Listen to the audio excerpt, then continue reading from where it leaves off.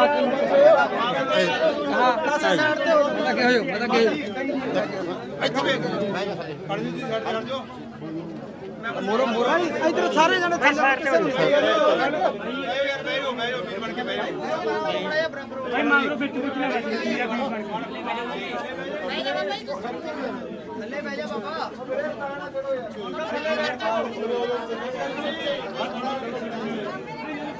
ਮੜਾ ਅੱਗੇ ਨੂੰ ਹੁਕਵਾ ਭਾਈ ਬੇਟਾ ਬਾਤ ਮੰਗ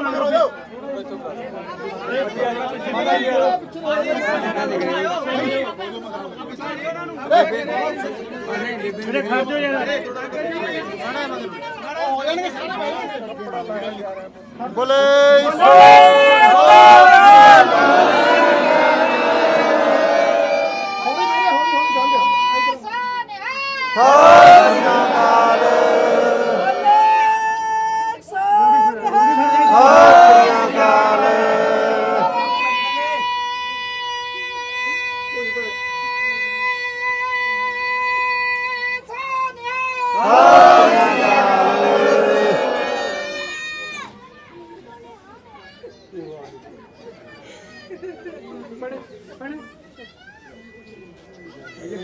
ਮੇਰੇ ਖਾ ਦਿਓ ਯਾਰ ਉਹ ਭਾਈ ਮਾਰੇ ਵਾਲੇ ਥੋੜਾ ਪਿੱਛੇ ਹੋ ਜਾਓ ਯਾਰ ਥੋੜਾ ਪਿੱਛੇ ਹੋ ਜਾਓ ਇੱਥੋਂ। ਪਿੱਛੇ ਰਹੋ ਵੀਰ ਬਣ ਕੇ ਯਾਰ ਥੋੜਾ ਪਿੱਛੇ ਹੋ ਜਾਓ। ਵੀਰ ਬਣ ਕੇ ਸਾਈਡ ਤੇ। ਤੁਸੀਂ ਇੱਧਰ ਸਾਈਡ ਤੇ ਰਹੋ ਤੁਸੀਂ ਵੀ। ਭਾਈ ਮਾੜਾ ਸਾਈਡ ਤੇ ਗਈ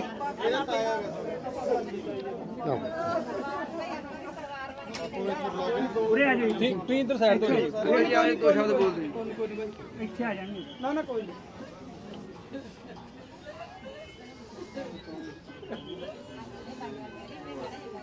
ਸਤਨਾਮ ਵਾਹਿਗੁਰੂ ਸਤਨਾਮ ਵਾਹਿਗੁਰੂ। ਸਤਨਾਮ ਵਾਹਿਗੁਰੂ। ਸਤਨਾਮ ਵਾਹਿਗੁਰੂ ਸਤਨਾਮ ਵਾਹਿਗੁਰੂ। ਸਤਨਾਮ ਵਾਹਿਗੁਰੂ ਸਤਨਾਮ ਵਾਹਿਗੁਰੂ। ਭਾਈ ਬੈਜੋ ਕਵਰ ਜੀ। ਥੱਲੇ ਥੱਲੇ ਥੱਲੇ ਬੈਜ ਥੱਲੇ ਬੈਜ ਨਾਮ ਵਾਹਿਗੁਰੂ ਸਤਨਾਮ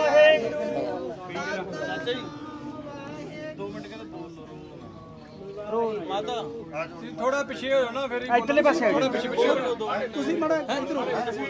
ਇਕੜਾ ਦੋ ਮਾਤਾ ਤੇ ਆਈ ਹੁਣ ਥੋੜਾ ਪਿੱਛੇ ਕਰੋ ਇਹਨਾਂ ਨੂੰ। ਇੱਧਰ ਆ ਜਾਓ ਜੀ ਇੱਧਰ ਨੂੰ ਜਾਓ। ਆਪੂ ਇੱਥੇ ਆ। ਜਾਓ ਜੀ ਹਾਂ ਇੱਥੇ ਆ ਜਾਓ ਇੱਥੇ। ਮੈਂ ਬੈਕ ਹੋਣਾ।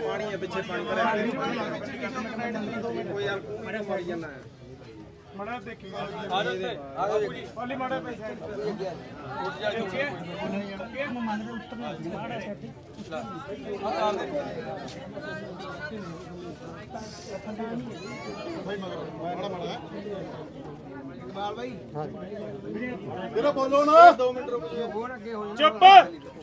ਜੀ ਸਾਰਿਆਂ ਨੂੰ ਵਾਹਿਗੁਰੂ ਜੀ ਕਾ ਖਾਲਸਾ। ਵਾਹਿਗੁਰੂ ਜੀ ਕੀ ਫਤਿਹ। ਤੁਹਾਡੀ ਸਾਰਿਆਂ ਦੀ ਸ਼ਰਧਾ ਅੱਗੇ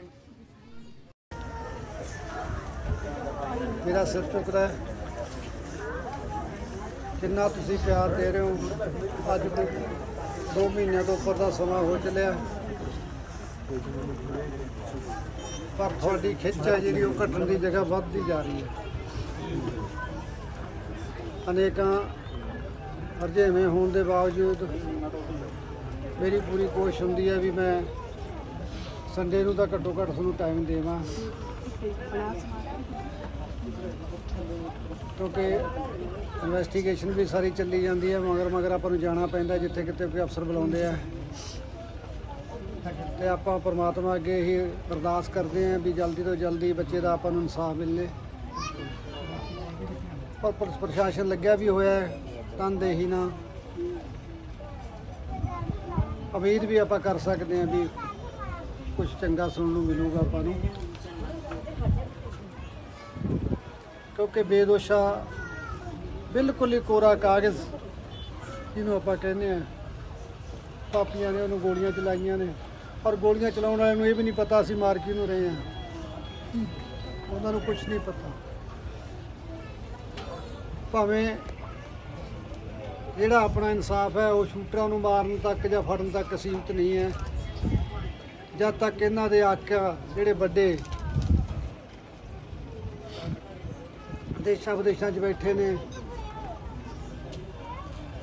ਉਹਨਾਂ ਦਾ ਕੋਈ ਹੱਲ ਨਹੀਂ ਕਰਦੀਆਂ ਸਰਕਾਰਾਂ, ਤਦ ਤੱਕ ਆਪਾਂ ਇਨਸਾਫ ਨੂੰ ਅਧੂਰਾ ਹੀ ਮੰਨਾਂਗੇ। ਕਿਉਂਕਿ ਹਰ ਆਜ਼ਾ- ਇੰਨੀ ਕੁ ਆਜ਼ਾਦੀ ਤਾਂ ਹਰ ਇੱਕ ਨੂੰ ਚਾਹੀਦੀ ਹੈ। ਕੋਈ ਬੇਖੌਫ ਹੋ ਕੇ ਆਪਣੇ ਘਰ ਤੋਂ ਬਾਹਰ ਖੇਤ ਬੰਨੇ, ਆਪਣੇ ਕੰਮ ਧੰਦੇ ਜਾ ਸਕਦਾ ਹੋ। ਔਰ ਸਰਕਾਰ ਦੀ ਡਿਊਟੀ ਵੀ ਬਣਦੀ ਹੈ ਵੀ ਇੰਨੀ ਕੁ ਤਾਂ ਹਰ ਇੱਕ ਨਾਗਰਿਕ ਨੂੰ ਸੁਰੱਖਿਆ ਦੇਣੀ ਉਹਦੀ ਬਣਦੀ ਹੈ। ਇਹੋ ਜਿਹਾ ਮਾਹੌਲ ਦੇਣਾ ਤਾਂ ਬਣਦਾ ਹੀ ਹੈ।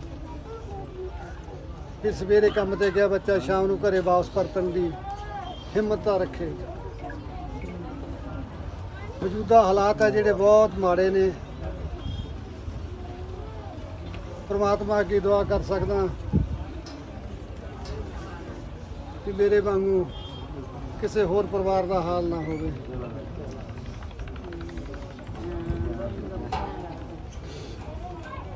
ਸਿੱਧੂ ਚਲਾ ਗਿਆ, ਪਰ ਉਹ ਪਿੱਛੇ ਕਾਫੀ ਸਵਾਲ ਛੱਡ ਕੇ ਵੀ ਗਿਆ।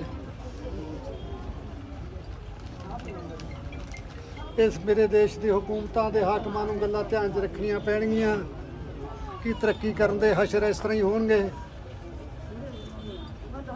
ਪਾਪੀ ਬੜੇ ਟੀਵੀ ਚੈਨਲਾਂ ਤੇ ਬੈਠ ਬੈਠ ਕੇ ਕਹਿੰਦੇ ਆ, ਹਾਂ, ਉਹ ਤਾਂ ਅਸੀਂ ਮਾਰਨੀ ਸੀ ਮੈਂ ਮਰਵਾਇਆ ਇਹ ਗੱਲ ਸੁਣਨ ਲਈ ਸਾਨੂੰ ਬੜੀ ਔਖੀ ਲੱਗਦੀ ਹੈ ਵੀ ਇੱਕ ਕਲੀਅਰ ਬੰਦਾ ਕਹਿ ਰਿਹਾ, ਹਾਂ, ਮੈਂ ਮਾਰਿਆ। ਫਿਰ ਉਹਨੂੰ ਸੁਰੱਖਿਆ ਕਿਉਂ ਦਿੱਤੀ ਜਾਂਦੀ ਹੈ? ਮੈਂ ਤੁਹਾਡੇ ਮਾਧਿਅਮ ਨਾਲ ਇਹ ਗੱਲ ਸਾਰਿਆਂ ਤੱਕ ਪਹੁੰਚਣਾ ਚਾਹ, ਪਹੁੰਚਾਉਣੀ ਚਾਹੁੰਦਾ। ਜਿਵੇਂ ਮੇਰੇ ਨੂੰ ਸੜਕ ਤੇ ਜਾਂਦੇ ਨੂੰ ਗੋਲੀਆਂ ਨਾਲ ਛਲਣੀ ਕਰਕੇ ਪਾਤਾ, ਅਸੀਂ ਵੀ ਚਾਹੁੰਦੇ ਉਹ ਪਾਪੀ ਕੋਰਟਾਂ ਦੇ ਵਿੱਚ ਜਾਣ। ਉਹਨਾਂ ਨੂੰ ਵੀ ਕੋਈ ਸੁਰੱਖਿਆ ਨਾ ਦਿੱਤੀ ਜਾਵੇ। ਘੱਟੋ ਘੱਟ ਅਸੀਂ ਸਿੱਧੇ ਹੋ ਕੇ ਕੁਝ ਨਾ ਦੇਖਦਾ ਲਈਏ। ਅੱਜ ਪਾਪੀ ਕਾਨੂੰਨ ਦੀਆਂ ਕਮਜ਼ੋਰੀਆਂ ਦਾ ਫਾਇਦਾ ਠਾ ਕੇ ਉਹ ਹਿਊਮਨ ਰਾਈਟਸ ਦੀ ਮੰਗ ਕਰਦੇ ਆ। ਭਾਈ ਵੀ ਮੇਰੇ ਬੱਚੇ ਦੇ ਹਿਊਮਨ ਰਾਈਟਸ ਕਿੱਥੇ ਗਏ ਸੀ? ਕਿ ਉਹ ਘਰ ਤੋਂ ਬਾਹਰ ਇਕੱਲਾ ਘੁੰਮ ਨਹੀਂ ਸਕਦਾ ਸੀ? ਪੁਲਿਸ ਸੁਰੱਖਿਆ ਕਿੰਨੇ ਕੁ ਨੂੰ ਦੇ ਦੂਗੀ ਐਡੀ ਵੱਡੀ ਗਿਣਤੀ ਦੇ ਵਿੱਚ। ਸਾਨੂੰ ਇਹੋ ਜਿਹਾ ਮਾਹੌਲ ਤਿਆਰ ਕਰਨਾ ਪਊਗਾ ਕਿ ਅਸੀਂ ਬੇਖੌਫ ਹੋ ਕੇ ਆਪੋ ਆਪਣੇ ਘਰਾਂ ਦੇ ਵਿੱਚ ਸ਼ਾਂਤੀ ਨਾਲ ਜ਼ਿੰਦਗੀ ਬਤੀਤ ਕਰ ਸਕੀਏ। ਅੱਜ ਉਹ ਚੱਲਦੇ ਆ ਕਿਸੇ ਪੇਛੀ ਦੇ ਉੱਤੇ। 200 ਬੰਦਾ ਉਹਨਾਂ ਦੇ ਨਾਲ ਚੱਲਦਾ ਹੈ। ਅਸੀਂ ਕਿਵੇਂ ਆ?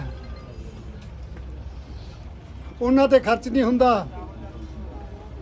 ਮੇਰਾ ਪੁੱਤ 2 ਕਰੋੜ ਰੁਪਈਆ ਟੈਕਸ ਭਰੇ ਸਾਲ ਦਾ। ਪਰ ਹਾਸ਼ਰ ਤੁਹਾਡੇ ਸਾਹਮਣੇ ਹੈ। ਇਹ ਕਮੀਆਂ ਨੇ ਭਰਾਵੋ, ਇਹ ਆਪਾਂ ਨੂੰ ਧਿਆਨ 'ਚ ਰੱਖਣੀਆਂ ਪੈਣਗੀਆਂ। ਔਰ ਮੇਰੀ ਤਾਂ ਇਨਸਾਫ ਦੀ ਗੁਹਾਰ ਉਹ ਸੱਚੇ ਮਾਲਕ ਤੇ ਹੈ। ਵੀ ਮੇਰੇ ਨੇ ਕਿਤੇ ਕਿਸੇ ਦਾ ਮਾੜਾ ਨਹੀਂ ਕੀਤਾ। ਮੇਰੇ ਪਰਿਵਾਰ ਨੇ ਕਦੇ ਕਿਸੇ ਦਾ ਮਾੜਾ ਨਹੀਂ ਕੀਤਾ। ਇਹ ਜਿਹੜੇ ਦੋਸ਼ ਲਾਉਂਦੇ ਆ, ਬੇਬੁਨਿਆਦ ਦੇ ਝੂਠੇ ਨੇ, ਆਪਣੇ ਆਪ ਨੂੰ ਸਾਬਤ ਕਰਨ ਲਈ ਟੀਵੀ ਚੈਨਲਾਂ ਤੇ ਬਹਿ ਕੇ ਇੰਟਰਵਿਊਆਂ ਦਿੰਦੇ ਨੇ, ਸਾਡੇ ਕਿਰਦਾਰ ਇਹਨਾਂ ਵਰਗੇ ਨਹੀਂ। ਜੇ ਅਸੀਂ ਝੂਠੇ ਹੁੰਦੇ, ਜੇ ਅਸੀਂ ਮਾੜੇ ਹੁੰਦੇ, ਤਾਂ ਇੰਨਾ ਇਕੱਠ ਅੱਜ ਵੇਖਣ ਨੂੰ ਨਹੀਂ ਮਿਲਦਾ ਸੀ, ਅੱਜ 50 ਦਿਨ ਤੋਂ ਉੱਤੇ ਹੋਣ ਵਾਲੇ ਹੋ ਗਏ।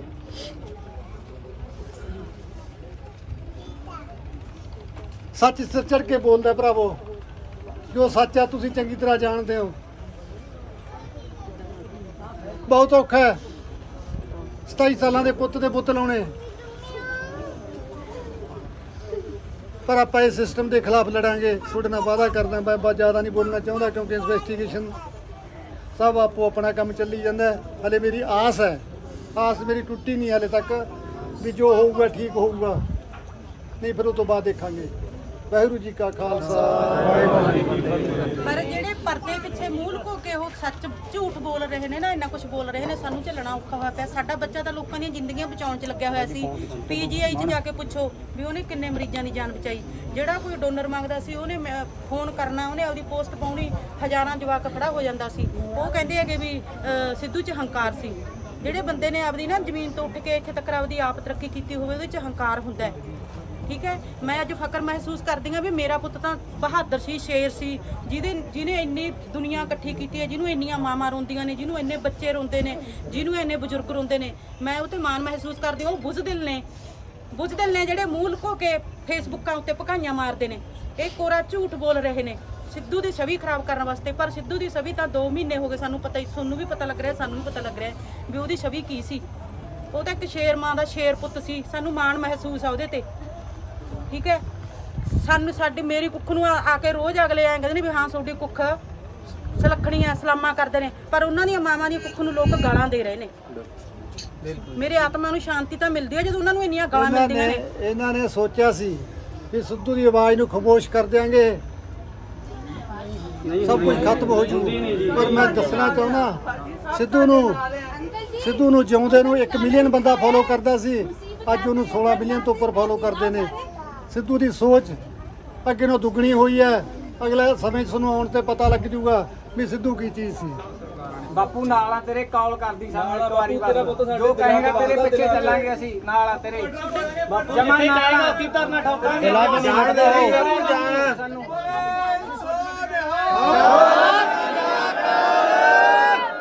ਸਾਨੂੰ ਸਰਕਾਰਾਂ ਤੋਂ ਨਹੀਂ ਤੁਹਾਡੀ ਕਾਲ ਦੀ ਠੀਕ ਹੈ ਸਾਨੂੰ ਬਸ ਬਾਪੂ।